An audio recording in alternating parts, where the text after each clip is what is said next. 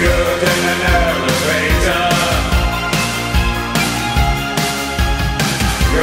up, the next excavator.